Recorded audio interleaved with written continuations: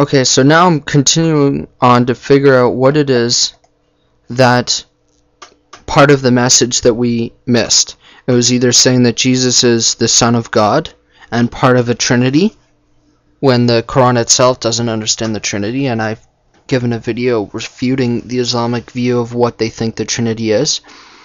What else could it be? Saying that Jesus was crucified?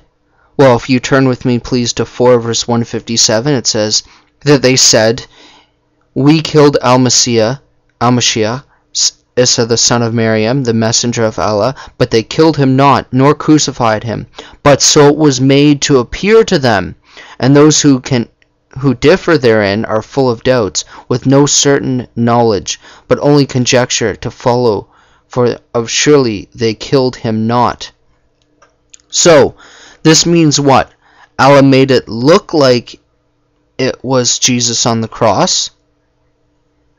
See, appear, made to appear to them, but it wasn't him. This shows us what?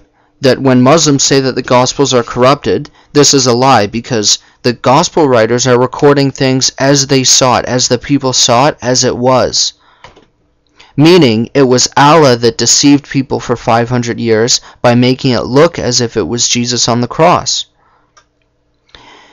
So they we believe that, but it's Allah's fault that we did if it's wrong. So he's going to judge us for saying that we that they crucified him and it's through his perfect sinless death on the cross that we are saved.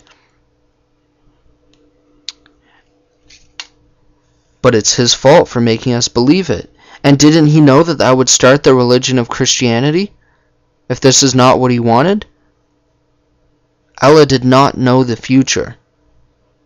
He is not a God who knows the future. There's no prophecies in the Quran, and the only ones that there are are stolen from the Bible. What I mean by that is that there's no new prophecies, there's no new revelation, there's nothing new in the Quran. And anything that the Quran does teach, it's from the Gnostic Gospels that were rejected because they were written hundreds of years later and not by the disciples. Here endeth the lesson. Jesus is Lord. Islam doesn't make any sense. Amen.